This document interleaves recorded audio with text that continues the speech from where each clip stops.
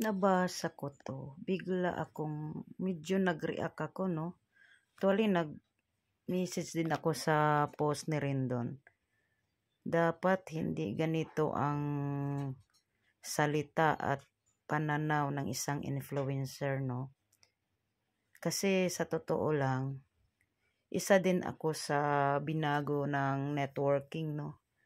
Napakahirap ko, pero umasenso ako sa networking hindi naman kasi lahat ng networking uh, illegal at hindi rin lahat ng mga tao sa networking ay manloloko. Sana may ganun kang isip rin doon, no?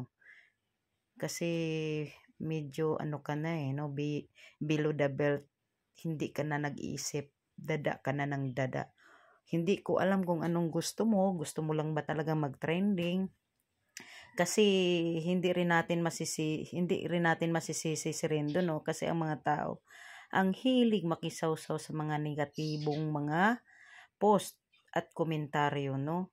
Lalo na tong ginawa ni Rendon medyo ang daming nagagalit na kapwa networker na kagaya ko no? Rendon legit yung company ko. Legit din akong tao. Pero yung post mo talagang below the belt no? Tinatamaan mo ang talas ng dila mo. Kung kasing talas ng dila mo, hindi kasing talas yung utak mo. May kapurulan ka din pala. No, kala ng iba matalino ka. Lumalabas din yung kapurulan ng utak mo. Napakabubo mo sa ganitong ano konsepto, sa ganitong perception ng networking ang bubo mo. Kaya bakit yung ginagawa mo? Kayo din mga follower ni Rendon, mag-isip naman kayo Okay? Tanga din ang mga naniniwala sa opinion, maling opinion nitong Rendo na to. Grabe ka.